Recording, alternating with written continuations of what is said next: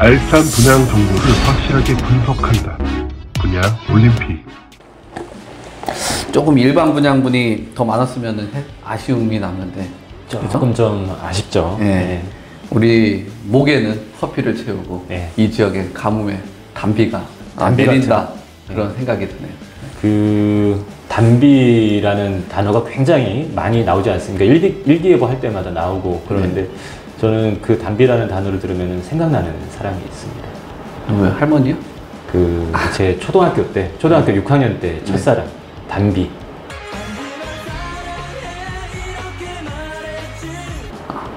그분이 생각나. 국민학교 아니었어요?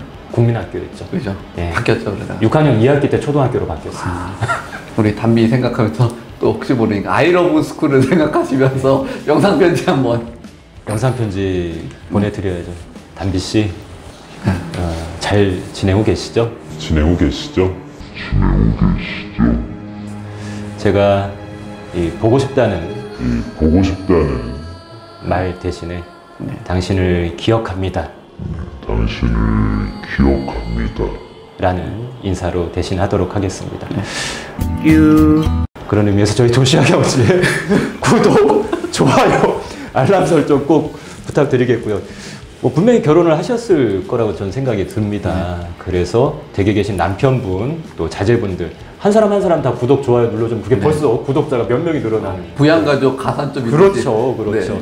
우리 혹시 사업을 하고 계시면 PPL이 필요하시다면 제가 무료로 해드린다는 말씀은 못 드리겠고 잘 맞춰드리겠습니다. 그래도 우리 예정이 있는데 잘 맞춰드리겠습니다. 네.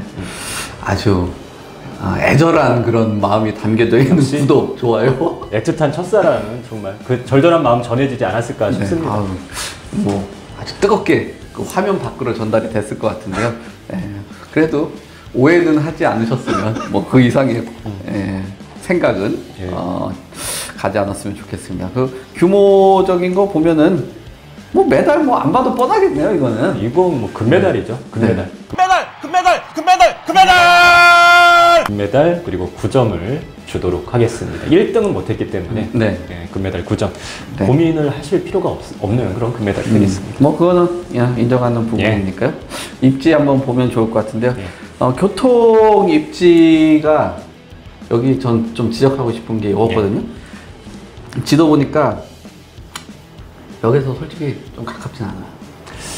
아 이게 항상 제가 판정을 할때 그 혼자 내 맘대로 이게 독단적으로 좀 편파 판정을 해야 되는데 사전에 어느 단지인지 이제 우리 내부적으로 이 정보를 알려드리다 보니까 사전 조사를 자꾸 하셔갖고 내가 네. 편파 판정에 좀 애로사항이 많이 생기는 것 같습니다. 이게 역하고 가깝지 않다는 게 네.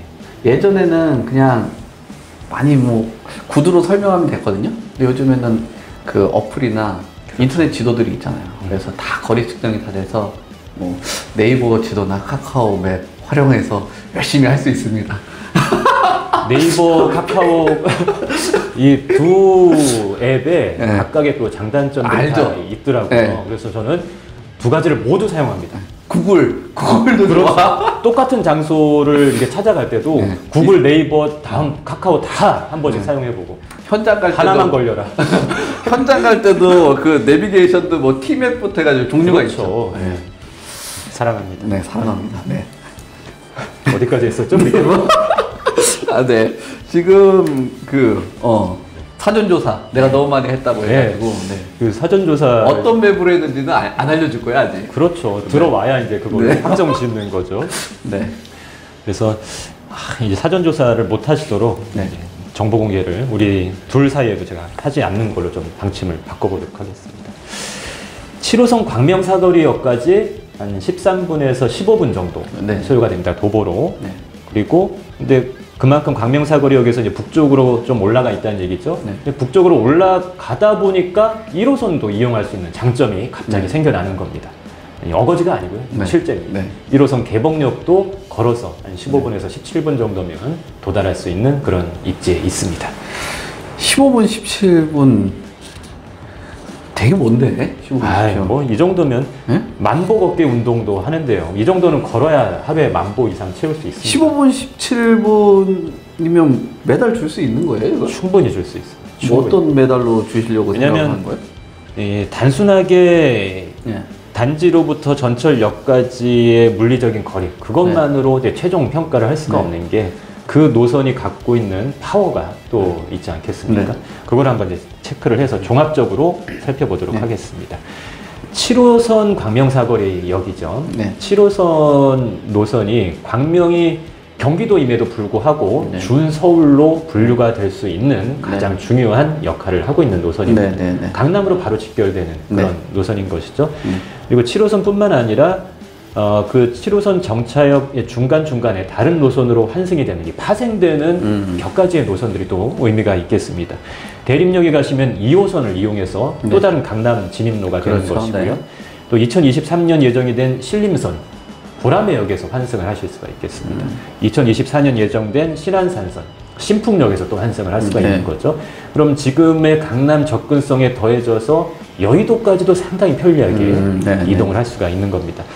여러분들이 이 경기도권의 주요 지역을 평가를 하실 때 어, 가장 어, 대표적인 곳들이 이 경부고속도로를 끼고 있는 강남 이 남쪽에 있는 동남부의 경기도 권역이 아니겠습니까? 네. 분당, 판교, 뭐 광교, 네. 뭐 이런 지역들, 동탄까지 포함했어요. 네, 네, 네. 이런 지역들 뭐 신분 당선을 이용해서 어, 또 GTX를 이용해서 강남 접근성이 좋다라는 부분이 많이 평가를 받고 있는데 네. 광명의 경우에는 7호선을 이용해서 이 강남뿐만 아니라 앞으로 네. 파생되는 신설 노선에 의해서 여의도까지도 서울의 3도심 중에서 강남과 여의도 양쪽을 모두 다 겨냥할 수 있는 위치인 것이죠. 네. 그렇기 때문에 웬만한 서울 변방 지역보다도 아파트 시세가 더 높게 매겨질 수밖에 없는 것입니다. 네. 거기에 교통입지의 이 주요 서울 3도심 접근성 플러스 네. 학교, 이 학군이 중요할 텐데 네.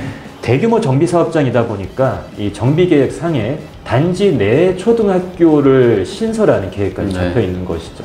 이건 뭐 어, 뭐라고 이 단점을 찾아내기가 어려울 정도의 입지가 아닌가 어, 이렇게 종합적인 평가를 음. 한번 해보겠습니다. 네. 오빠 사주세요. 이제 설득은 되네. 이쯤 뿌잉뿌잉이 점점. 이렇게 넘어오고 있는 것 같습니다. 꼬시고 뿌잉뿌잉이네요. 있습니다. 뿌잉뿌잉이죠. 근데 이 정도면 뿌잉뿌잉인 것 같아요. 이 정도면 제가 끼우까지도 할수 있을 것 같습니다. 네. 그래도 여기까지 도보가 여기 그 노선을 활용하고 나면은 뭐 웬만한 도심은 다 커버가 되네요. 의미 없는 역까지 도보 5, 분보다 훨씬 낫지 않을까 그렇죠. 저는 네. 그렇게 생각을 합니다. 그래서 뭐 메달 색깔을 제가 어, 평가 절하했는데 뭐좀 올라올 것 같은데 뭐 예. 메달 색깔 어떻게 되죠? 메달은 은메달 8점으로 네. 딱 정확하게 예, 평가를 하도록 하겠습니다. 네. 뭐 다른 특별한 점들은 뭐좀 없을까요? 거기에다가 이제 평상시에는 체크하지 않았던 좀 번 외편의 입지를 한번 제가 또 체크를 해드리겠습니다. 번에는 왜 하는 거예요? 우리 분양 올림픽만의 네. 이 맛이 아닐까. 혹시 뭐그 뭐 아니죠? 뒤로 뭐 아예 절대 아닙니다. 절대 아니죠, 절대 네. 아니죠. 예. 네. 그렇지 않다라는 거 우리 시청자님들께서 다 아시지 않을까 싶어요. 받아본 적이 있어야지 뭐. 그러니까요. 함께하는 시민 웃는 광명 네. 간절합니다. 네. 특이한 점이 광명 동굴이 있습니다. 광명 동굴 단지로부터 아, 동굴을 왜 얘기하는 거야? 광명 동굴까지 자가용으로 30분 네. 그리고 대중교통 이용하신다면 301번 버스 한 번 타시고 중간에 네. 77번 환승하시면 1시간 이내에 광명 동굴까지도 가실 수가 있다. 네, 가보셨어요? 환승하고 뭐 환승까지 외워가지고. 조사를 했죠, 조사를.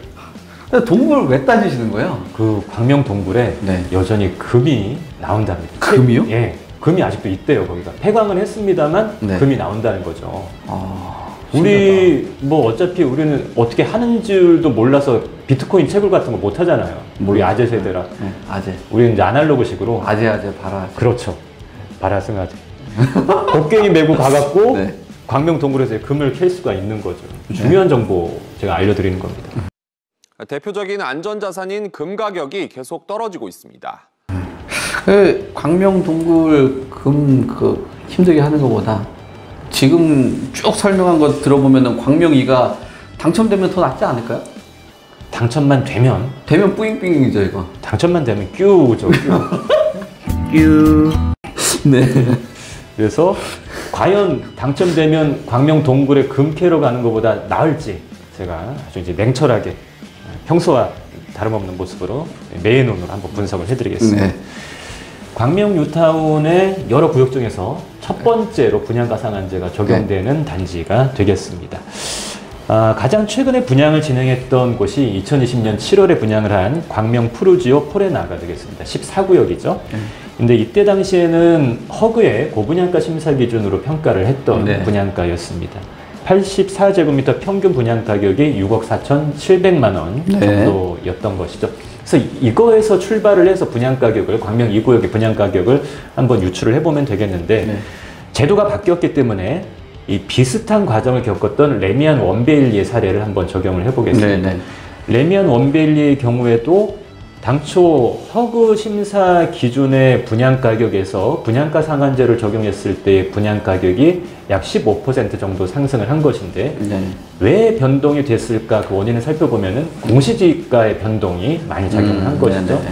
그 사이에 레미안 원베일리 이 반포동의 분양 이 공시지가 공시지가가 약 14% 정도 상승을 한 것입니다. 그러면 최소한 공시지가 상승률 이상으로 분양 가격의 변동이 일어났던 그렇죠. 것이죠. 네. 고스란히 이 광명 2구역에 적용을 해 본다면 광명 2구역의 공시지가가 그 사이에 10% 남짓 이 음. 상승을 했습니다. 그럼 보수적으로 10%만 분양 가격이 변동된다 가정을 했을 때 광명 푸르지오 포레나 분양 가격에다가 10% 인상분을 적용을 하면은 약 7억 1,200만 원으로 분양 가격을 산출할 수가 있겠습니다. 음. 3.3제곱미터당은 2천만 원 살짝 넘는 그런 가격인 것이죠.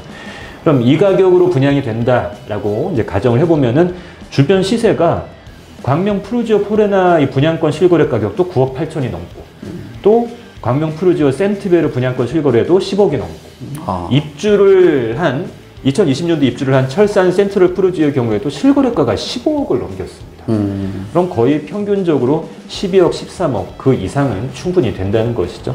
어, 아마도 이 광명 2구역 같은 경우엔 14억 이상은 어, 가능하지 않을까 예상을 해봅니다. 음, 당첨이 되시면 어, 적게는 6억에서 많게는 한 7억 정도 수준의 어, 시세 차익도 기대를 해보실 수 있는 좋은 조건이 되겠습니다.